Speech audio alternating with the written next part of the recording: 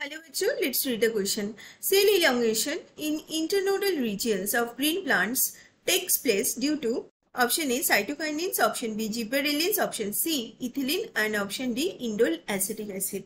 आइए इस क्वेश्चन को हम सॉल्व करते हैं एक की कंसेप्ट के साथ and here the key concept is cell elongation in internodal region तो इंटरनोडल रीजन पे क्या हो रहा है सेल इलोंगेशन सेल इलोंगेशन की बात हो रही सेल इलोंगेशन तो आइए हम देखते हैं कि सेल इलोंगेशन जो इंटरनोडल एरिया होता है, वो क्या है? एग्जैक्टली exactly क्या है? तो जहाँ से पत्ता अराइज होते हैं in stem that region is called node ठीक है? मान लो कि यहाँ पे द लीव्स आर अराइजिंग तो ये हो गया नोड रीजन ठीक है?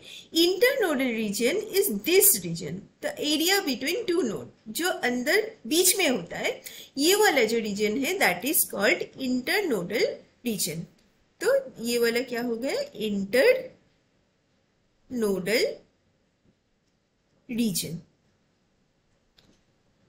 ये वाले सेक्शन का सेल जो होता है सेल का इलोंगेशन होने के लिए कौन सा हार्मोन रिस्पॉन्सिबिलिटी आइए देखते हैं यहाँ पे जो फाइटो हार्मोन है, जैस फाइटो हार्मोन मीन्स जो हार्मोन्स प्लांट्स में होते हैं। तो यहाँ पे वन टू थ्री फोर चार फाइटो हार्मोन में इनमें से कौन सा हमारा आंसर होगा? ऑप्शन ए साइटोकाइनिन देखिए साइटोकाइनिन सेल डिवीज़न के लिए तो है। सेल डिवीज़न के लिए रिस्पॉन्सिबल है। बट ये इंटरनोडल रीजन के लिए रिस्पॉन्सिबल नहीं है। तो ये वाला एक्यूरेट नहीं है।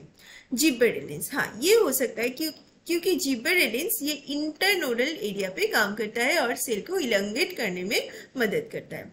अच्छा इथिलीन इथिलीन एक फ्रूट राइपनिंग हार्मोन है तो ये इथिलीन भी हमारा नहीं होगा। इंडोल एसिटिक एसिड एक टाइप का ऑक्सीन होता है, एक टाइप का ऑक्सीन होता है। और जो ऑक्सीन हार्मोन होता है, वो एपिकल डोमिनेंस के लिए होता है सेल ग्रोथ के लिए होता है बट ये इंटरनोडल रीजन का जो इलोंगेशन है, इसमें इसका कोई रोल नहीं है।